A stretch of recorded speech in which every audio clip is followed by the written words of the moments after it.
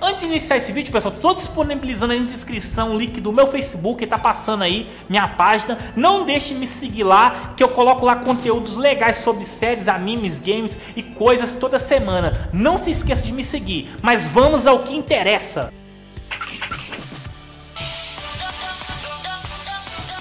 E aí pessoal, beleza? Meu nome é Ricardo Pimenta, seja bem-vindo a mais um vídeo na Casa do Nerd. A gente vai falar hoje sobre Fire Force, esse anime que tem personagens com fogo nas mãos, nos pés ali, poderes fantásticos, basicamente isso, e mulheres ali, né, com posições, cenas ali que favorecem a gente, né, que é meio safadão, né, mas bora que interessa, pessoal. Esse anime é um anime muito bom, gostei muito dele, tô gostando, assisti a primeira temporada, vale muito a pena. Não sei quando você tá assistindo esse vídeo, mas segunda temporada parece estar tá garantida. A gente não pode confiar ali nos japas, né, que é meio doidão, mas tava lendo vários blogs ali, várias notícias parece para 2020 já agora ou 2021. Creio que 2020 aí tá lançando pra gente chegando quentinho. Outra notícia que a gente veio passar, se tem dublado legendado, infelizmente ainda não tem nenhum estúdio que tá fazendo a dublagem dele. Brasil tá uma bosta, eles não estão ajudando a gente em nada, né? Não quer dublar nada, mas como talvez você está procurando dublado, vou disponibilizar dois links aí embaixo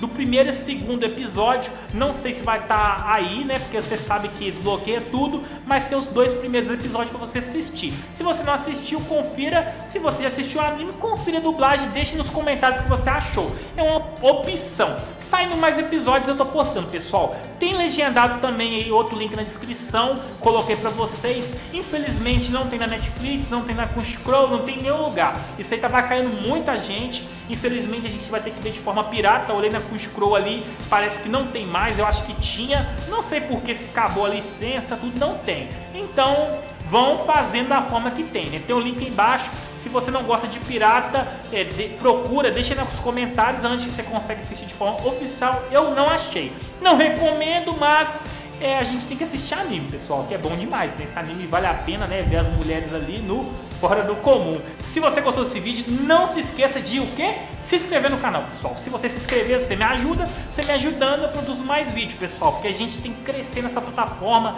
divulgar esses animes fantásticos, né? Esse quadro informativo eu tô postando aí toda semana, trazendo opiniões, onde assistir segunda ou terceira temporada de algum anime. Então deixa nos comentários também o que você acha desse anime. Se você gostou ou não gostou. Se no começo eu achei meio ruim, né? Poder de fogo e tal, mas depois que você assiste é muito bom.